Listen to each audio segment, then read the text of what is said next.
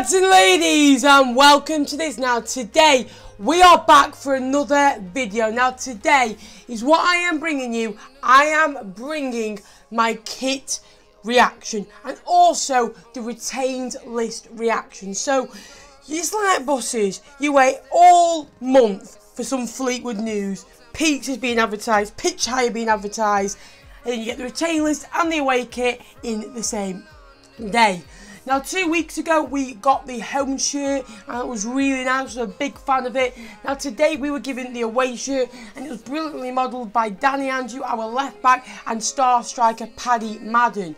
Now, obviously, Paddy Madden, whatever he does, makes looks good, to be fair, let's be honest. Um, no, but I really like this away shirt. It's very different for us.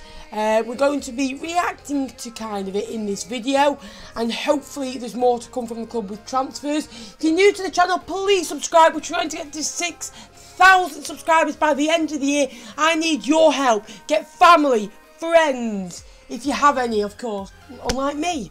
Um, get them to subscribe, turn notifications on, that'll be much, much appreciated. And let's get on with today's video. Now, yes, it was released at 11am this morning. Now, very, very different. Now, Hummel again coming up with a banger. Obviously, they sponsor a lot of teams Everton, Millwall, Charlton, Coventry, Rangers, just to name a few.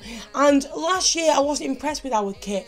However, this year they've knocked it out of the park. Now, I really like the grey, the greyness of it, and it's different. We've never had a, a, kit like this. We've had some good ones. We've had a couple of yellow ones in the past uh, with Puma. We had a nice blue one, which was kind of plain blue, but it was a nice colour. But this is smart. This would go well to wear at a football game. Whereas others, I just kind of feel like they're not smart enough. This is smart enough to go with a pair of jeans, if I'm honest with you. Um, I like the stripes. Again, the BES, which is Andy Pilley's company, I've not really liked on the other kits because they don't really stand out, but it's nice and bold. Um, it really, really fits the colour scheme of the shirt. I like the stripes and I really like the green up the, up the side. I think it's very different. We've never really had green on a kit for a long, long while, um, if you've ever had one. Uh, but again, I really, really like it. It looks really like a good fit as well. Like the other kits that we've had in the past have been baggy and they've not been great to wear, but this looks really, really smart and iconic, really. Another thing I really like about this kit, it's striped, and then at the top, it stops being striped when it's like really smooth around there, and the badge isn't just like put on like like cheap. It's really embroidered into the shirt and it really makes it to look a lot smart. And I really like the chest as well because round the chest it doesn't look like cheap and tacky if I'm honest it looks proper pure really really nice and I'm a big critic when it comes to football kits but for me they've knocked it out of the park with this you get messages saying how nice it is I think Fleetwood and Hummel have come together to make something different, something iconic, something we're going to be known for. We want to be wearing a nice kit. Um, it's always good to see nice kits in football. It's one of the kind of pleasant things you go to the football for as well. Obviously, you go for the football, you go for the laugh of your mates, but having a nice kit is brilliant. Also at the top I said it was quite smooth, it's got little lines of green as well, which again, it's really, really like different for us. Like normally we just red, white, yellow, blue, the traditional kind of bland colours you get. Uh, obviously red and white are our full colours. I, I love it when we wear full red for at home. I love that to make a prospect next season. But again, I really, really like the green stripes, the green collar uh, and the green sleeve as well. And again, it looks really, really nice. Again, the BES, like I said, nice logo at the side, as well as the Hummel looks really good as well. The Hummel's got a different logo last year. It just said Hummel on it last year, which again was nice, but they got the Hummel logo this year, which I think is really, really, really nice.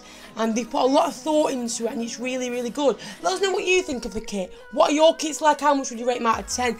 I'd give probably the Fleetwood Home one, which I'll show on screen now, I give that about a 7 out of 10. I think it was good. I think it's okay. I think it's better than last year's. I give last year's about a 5 out of 10. It's different. However, this Awaker is beautiful. I'm going to give it a 9 out of 10. And that's going straight in my basket. Now, also today, we got announced the retained list. Now, big news. Ged Garner has left the club again, made the odd appearances, mainly played for the development team, and unfortunately won't get the chance to make it at Fleetwood, but we wish him luck in the future. Conor McAleny, who joined in 2017. Now, he joined in Rösler's second season and he started off with a bang with a brace against Rotherham United at Highbury. Then after that, he just seemed to start okay in the season. Started 8-9 games, but he couldn't get a run of 20 games together without getting injured.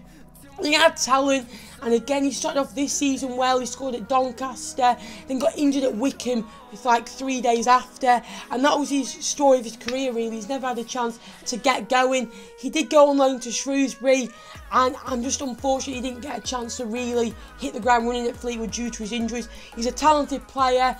If he can get a run of games going, he can score goals at this level. But we wish him luck. Kyle Dempsey, who also joined for a club record transfer fee back in 2016 and 2017 permanently 2016 on loan from Huddersfield.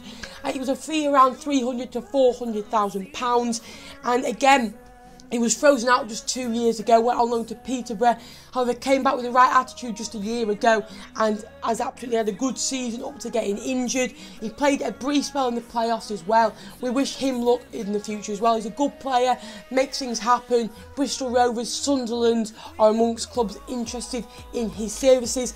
We also say goodbye to Matt Gilks who I think made about four or five appearances for us while at Fleetwood. He was a good leader to have around the dressing room.